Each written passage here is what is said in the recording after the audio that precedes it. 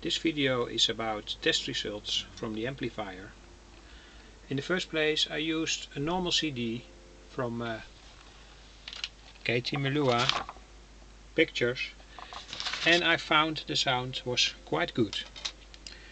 And now I'm going to test it um, with uh, some audio signal. It's a copyright free CD. I'm going to raise the volume now. I connected the car lamp to the output of the amplifier. It's a car lamp from 20 watt. So now I raise the volume. Of course there's a lot of distortion. You can see it on the scope.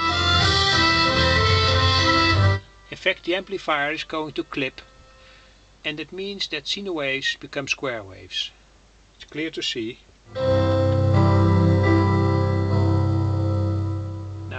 Uh, input level is not strong enough. But now a uh, tough signal comes. And you can see that the amplifier clips. Uh, but the test with a car lamp is a very good test. I switched off now the loudspeaker.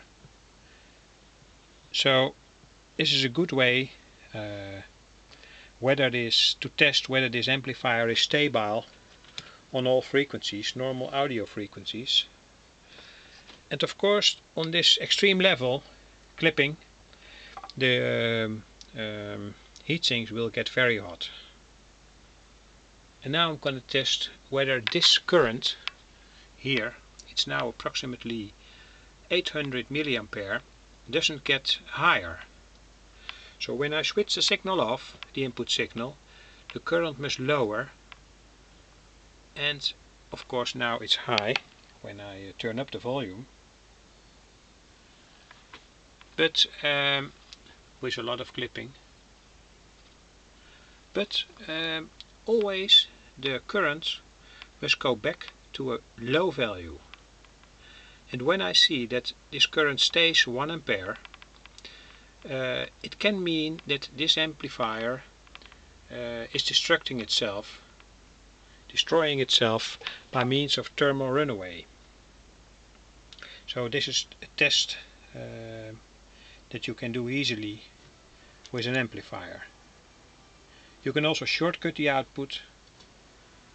Uh, this must make um, no difference I also feel the temperature of the both heat sinks. They must get equally hot. That's also a test. And a very heavy test is adding uh, 16 kilohertz by means of a sine wave generator to the input of the, the amplifier and also on a very high level so that the amplifier is clipping. This is in fact the best test for a thermal runaway. So these are simple ways to test an audio amplifier. In fact I have to um, let this situation go on for a few hours to test uh, this circuit well.